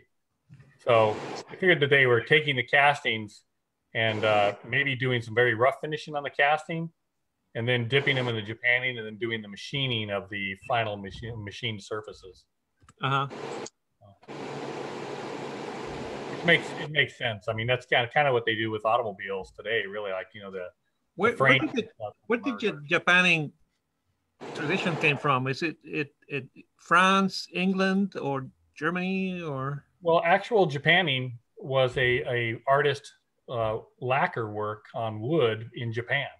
Yeah? and it was being imported into Europe on fine furniture and, and as art. And then uh, there was some fear that they were going to lose that importation. I don't know, something was happening in the world. Maybe there was some, you know, political battles. Yeah. And so uh, in Italy, my understanding is the uh, local artisans started experimenting around to try to find a way to reproduce it because they felt like there wasn't going to be a supply of these these uh, pieces of furniture or whatever. Yeah. And uh, so they came up with a technique there, and then it spread throughout Europe, and uh, it was in England that my understanding is is where they started applying it to metal as a rust preventative. Yeah. And, uh, there was a, a you know, it, it, as the um, furniture finishing went in a different direction or the demand for it went away, the Japanning became popular on some of the cast iron products. There was a story in there about how the Sunbeam Bicycle Company started Japanning the bicycle frames to keep them from rusting. And the, the very reflective, glossy finish from the Japanning is why they named the company Sunbeam because it reflected the sunbeams. Mhm. It was used. I know it was used on the uh, in the automotive industry here in the states. The old uh, Model Ts, Model uh, A's, the Ah. early Fords. Uh, they were Japan. Across the street from where I work, um, there's an old building, and apparently it was a Ford um, manufacturing plant back in the day. And Yeah. the, the building where I work at um, was a showroom, and they have these old uh, um, elevators, like like freight elevators. They're gigantic. They're probably like uh, 20 by 50 feet long. Yeah. Got a couple interesting questions here. Uh, Adamo, the, the guy that knew about the uh, the Damar varnish, uh, he was asking uh, what era did they start first applying the Japanning on the metal in England? I think if I read correctly, it was in the late 1700s, like 1780 maybe, is when they started applying. Uh, they found some evidence of it being applied to tinware. It was used uh, on the, the tinware, almost like dishes or something, maybe to waterproof buckets. Uh, being on cast iron, I think, was actually in the mid 1800s is when it first showed up on cast iron product. Um, and then another Greg, person, I, there was any I back- found the J- I found the German Jap, uh, Japanning guy. oh yeah, yeah, I'm gonna send a link to your uh, messenger. Maybe uh, Chris can throw it up on your webpage sure, or on your page. yeah, it'd be great. Can you post it on that on that group chat? Yeah, Chris will put it up on the Facebook uh, message. What is the, the Facebook link? I don't have it. uh, if you search Facebook for a plane life, P L A N E life, that's where uh, we're live streaming that too, and the- so it it gets recorded, and you can go back and watch the video, and all the comments are there as well. So, although I I don't know if the comments run like real time with the video, so you'd have to know where it was discussed, or if you can just go down and read all the comments. Oh, there is. You Okay. know? Once the video is processed after the live stream's ended, you can, uh, depending on the view, you can either see all the comments that were shared, or you have to know about the time frame and, and watch the whole video. It just it kind of depends on how it processes that day. Okay. Oh. um, we'll take a look at it and, and, and get all the references uh, in a re- readily accessible format on there for you guys. So, somebody asked if there was any uh, factory documentation about the Japanning, how it was done and applied, and uh, no, no, to my knowledge, no one's ever found that documentation, which is shocking, particularly with like a big company like Stanley that's still in business today. But by the 1920s, when good quality enamel came out, they you know gave up on the Japanning for a much faster, probably less laborious process. All that knowledge left with the retirees and uh, and uh, as Went to people- the- Yep. Yeah, Stanley for a long time was really good about preserving their history, and then I, I didn't even realize this had happened. You know, they originally had a uh, the original um, model of every plane they ever made. They had a model room, and I've, there's a video tour online of a guy who got a tour of this model room, and he's Yeah, I saw pulling that. out the original number one. Here's the original number 55, and all that stuff. They sold all that out uh, a number of years ago. Stanley sold off all the models. Um, Rob Porter recently acquired one, and uh, so yeah, Stanley is kind of like just they, you know, they don't care about the history. And eh, you know, they're a company. History doesn't make money, um, and they weren't doing tours of the museum. So I guess I can understand. Is that that square? Those squares he's got? Uh, no, he actually recently acquired a. Uh, well, those squares may have something to do with that. He recently acquired a hand plane um, that uh, was in the Stanley model shop, although it's not a Stanley plane. It was actually, I think, a Union plane that they think Stanley acquired to kind of like look at how could they work around the patents on it, which was a common practice. It's still today it's a common practice. And uh, this plane was signed by one of the two big patent guys from Stanley. It's got the guy's signature on it, and uh, apparently it's been verified as being most likely the, the real deal. Yeah, yeah, it's pretty cool. I, I don't remember the gentleman's name. I wish I did. Rob Porter will kill me for remembering it. Wasn't Justus Traut, who was one of the big prolific um, patent guys for Stanley. There was another one, Shade, E.A. Schade, I think is his name. Also has, you know, a whole bunch of the Stanley patents attributed to him. And uh, his signature's on that Union plane. It's pretty darn cool. Yeah. So, yeah. Well, guys, think of topics that you might want to talk about next week. Um, whatever you think, we can do a show and tell. We can do a drop test on a uh, on an old plane and see, you know, eh, how easily they break. I haven't I haven't broken one yet. I got rubber mats around most of my work areas. I dropped my number. I dropped my number three the other day. Get a break? I have a no. I have a rubber uh, Oh, mat. I dropped one yesterday on the concrete and it survived. oh man, you're lucky. You're lucky. That's uh, that's my fear. You know, it's it's it's bound to happen one day. I'll drop That would one. be so soul destroying, especially after you spent hours and hours restoring a plane and then drop it. Oh God, I've, yeah, I've got a few that I don't know that I'd ever find another one like them. So those the original, the, the first generation Fultons, and God, if I dropped one of those, I'd just sit down and cry. Yeah, And you have this rubber. one, I have no uh, no time invested in it. I just got it. It was sitting on my toolbox and I was uh, was vacuuming the floor and hit it with the hose. Wow. Well, glad it survived. Picked it up. I'm like, yeah, you look good. Yeah. I've got one that I one that I restored a while back that uh, had the, the blade. Of course, the, the the the lateral lever was bent. There was a dent in the top of the tote where, of course, it fell. The previous owner, at some point, it fell and it landed right on top of the tote. So it drove the lateral lever into the tote. You know, put a dent there, and the lever was bent down. But it also hit the blade, and the blade had a good bend over the top of the frog. So I uh, I straightened it back out, but I wasn't sure so sure how that was going to work. You know, if I could get it straight or if I'd break it or what would happen. But I did manage to straighten the blade out without using heat because I didn't want to mess around with the temper. But uh, you can sort of see exactly where it fell. Mm. Paul, Paul Sellers, in one of his videos, he shows how a way to uh, get rid of the belly of the blade by Yeah. the, the, the blade. I Yeah. tried that and I uh, broke my uh, the one blade. Yeah, you po- I think you posted. I think I saw that posting where it split right down to the cutting edge from the slot. Yeah, and uh, Yeah. and then I tried it again, and then I broke it again too. So Oh. I broke two. So I'm, that's the, the the last time I'm gonna use that method. I'm just gonna use sandpaper now. Okay. Um, What kind of hammer are you hitting it with? actually, I broke the blade for this plane trying to. uh, Oh, that's the five and a half. yes, Oh, that's sad. and um, so I bought a blade. I think from Jim Bode. Bode. Um, Jim, Jim Bode. yes, I think Jim Bode got it from Okay. him. Okay. Um, Did you get one from the same period as the plane? I believe so. Yeah, the one with the um, the V shape. Uh, Oh, that's the night. That's the coolest Stanley logo of them all. this Love that V logo. Yeah. That's one? Yeah. Nice. Um, yeah. No, I was. I should have known better. yeah. Well, yeah. it's uh, it's a learning process. So. yeah. Okay, uh, Adamo wants the link to that video of the Stanley Model Shop tour. All right, I got to find that. Yeah, that'll be cool.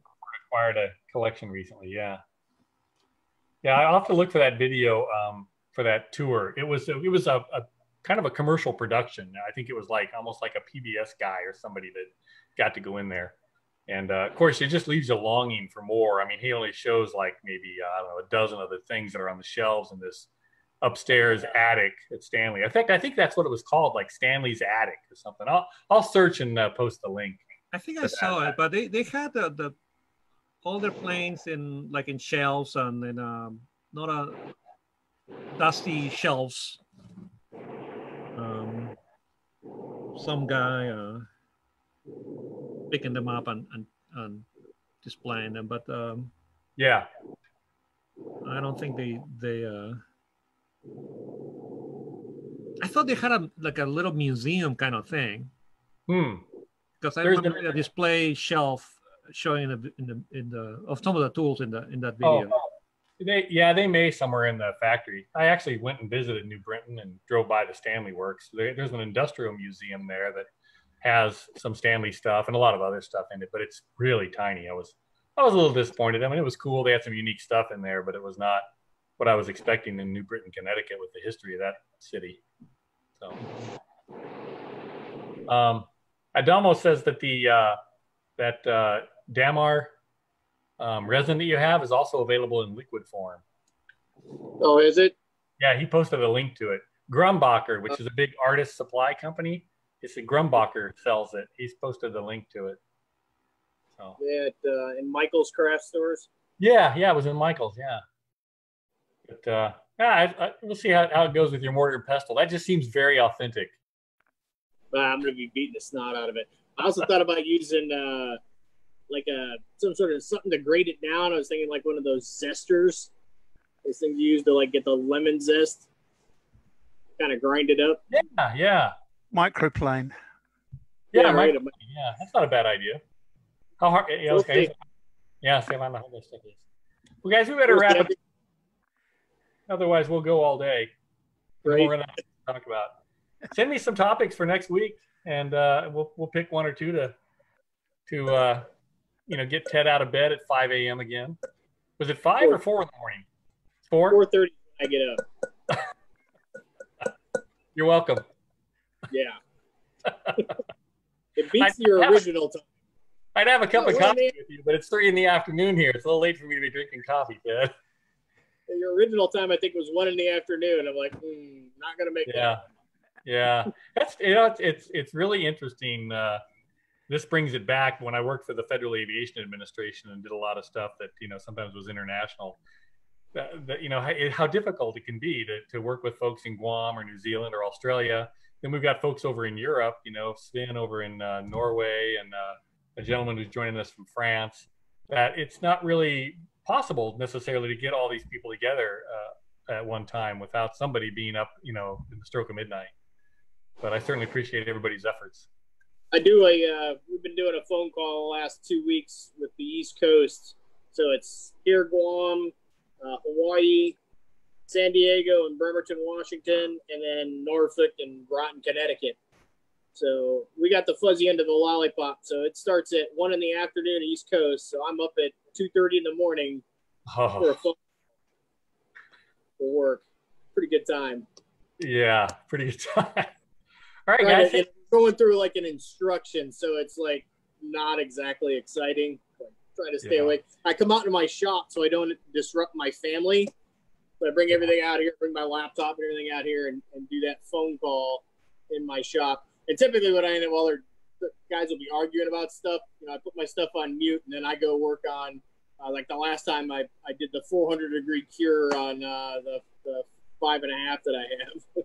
Uh, yeah, our visitor from France is telling me that it's uh, almost 11 o'clock over there where he is. So it's it's it's time to hit the sack. So hey, what I really appreciate him visiting with us. That's uh, great to have him on board. He shared some information with me about his background, and I really look forward to hearing more from him. Uh, hopefully, we can get him on a on the live Zoom chat with us as well. So, all right, you guys. Well, good seeing you, really. And Ron, uh, I look forward to actually seeing you, but it's always good to listen to you. Hopefully, I'll have a camera shortly. That'd be good because then you can show us what that Japanning looks like, and maybe we can help you get over the hump and and start having something you can put on the hand planes. Hey, that'd be cool. All right, guys. Well, everybody All right. take care, and we'll see you next week. Send me some ideas. Okay, take Later. care. Good All night. right. Be safe. Thank you. Bye. Bye.